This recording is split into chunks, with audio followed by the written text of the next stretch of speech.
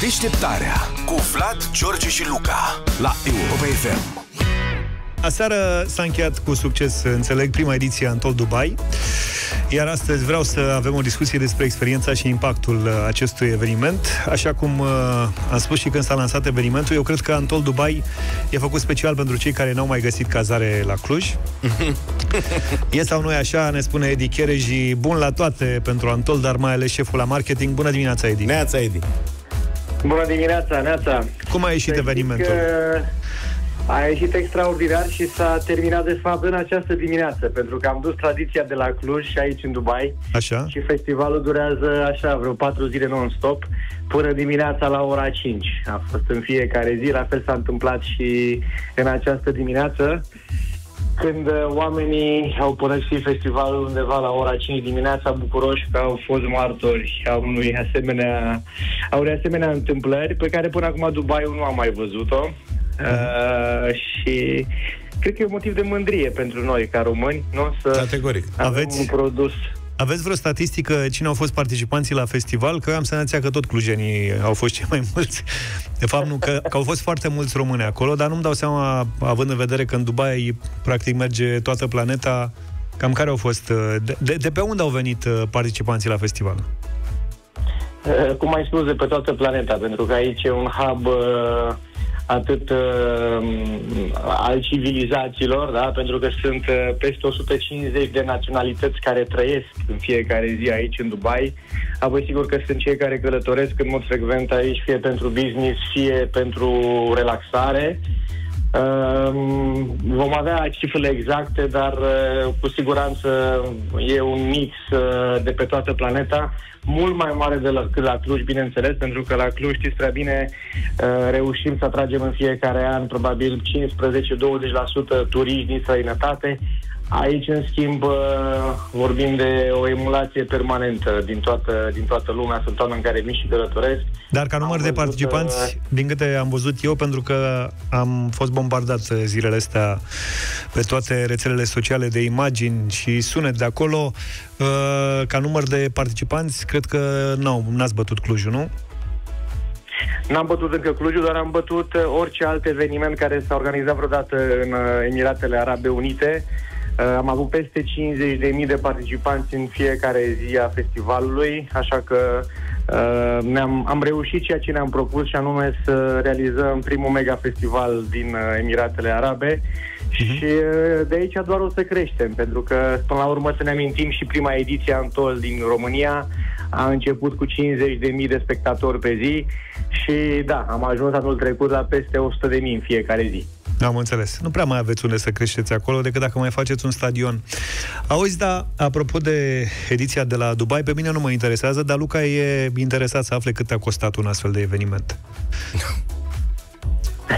Cât a costat? Uh, Un astfel de eveniment făcut primă- în Dubai, adică mă gândesc că au fost destul de mulți bani investiți acolo. Au fost, a fost o investiție mare aici. Gândiți-vă că, în general, costurile în, în zonă sunt uh, de două sau de trei ori mai mari decât uh, orice alte costuri pe care le avea, să spunem, în România.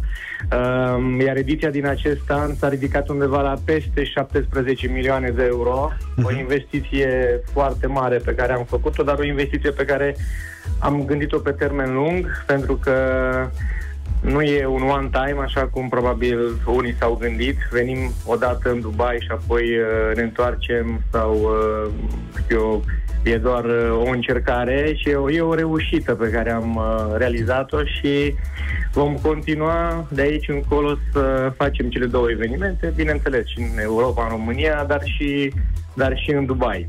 Cred că o provocare în plus a fost, Edi, organizarea unui astfel de eveniment într-o țară musulmană care are anumite m, restricții și respectă destul de multe cutume și una dintre ele, eram curios, se referă la uh, consumul de alcool. A fost permis consumul de alcool pe durata festivalului, adică s-au găsit băuturi alcoolice la baruri sau s-a băut numai suc? Da, bineînțeles, au găsit băuturi alcoolice, de altfel, în tot Dubaiul poți să găsești băuturi alcoolice, în restaurante, baruri, terase. Uh, Dubaiul s-a deschis și s-a europenizat, dacă pot să spun așa, foarte mult în ultimii 5 ani. Uh-huh. Cu siguranță cei care ați fost în ultima perioadă în Dubai ați văzut acest lucru. Uh, e un oraș care, sigur, ține la, um, la eticheta oarecum gata de religie, uh-huh. de, de, de cultură, dar uh, în privința uh, felului în care oamenii se simt atunci când uh, merg la evenimente, când se, se duc pe stradă, se duc în moluri, viața socială nu e cu nimic diferită de viața socială din, din Europa.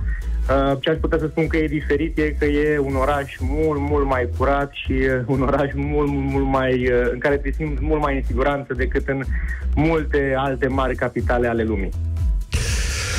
Înțeleg că urmează și ediția a doua, adică ați investit pe termen lung acolo.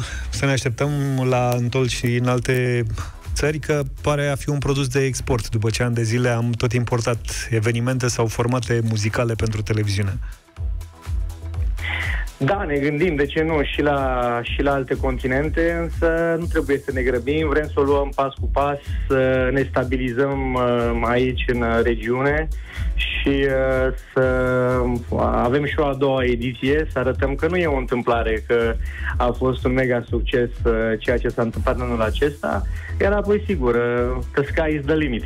De ce nu? Hai să ducem brandul ăsta frumos, românesc 100%, născut la Cluj, să-l ducem în toată lumea asta și noi ca români să fim mândri de contribuția pe care am avut-o fiecare în povestea asta. Edi, îți mulțumim tare mult, mult succes, drum bun acasă și ne auzim.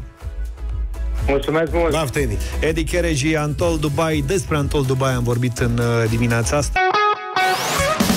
Deșteptarea cu Vlad, George și Luca la Europa FM.